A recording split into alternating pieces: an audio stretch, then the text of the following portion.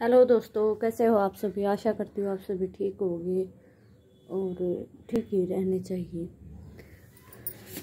आज मैं आपके साथ एक ऐसा प्लांट शेयर करना चाहती हूँ, जिसको हम कटिंग से मिट्टी और पानी में दोनों में ग्रो, बहुत ही आसानी से ग्रो होने वाला प्लांट है।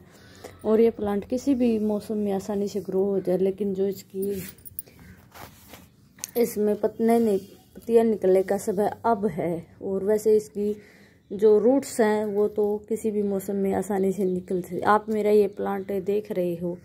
ये इस प्लांट को मैंने कटिंग से ग्रो किया है और आप इसे पानी में भी आसानी से और इसको ना सबसे अच्छा ऑक्सीजन का स्रोत माना गया है, क्योंकि यह एक अब इसको इंडोर या आउटडोर कहीं पर भी रख सकते हैं। यह दोनों ही जगह बहुत ही अच्छी तरह चलता है। ये हमारे घर में एक शोपीस के रूप में भी काम करता है और यह इंडोर और आउटडोर दोनों जगहों पर और पानी में या मिट्टी में बहुत ही आसानी से ग्रो होने वाला प्लांट है और इसमें बहुत ज़्यादा पानी की ज़रूरत नहीं है, ना ही बहुत ज़्यादा केयर की ज़रूरत है।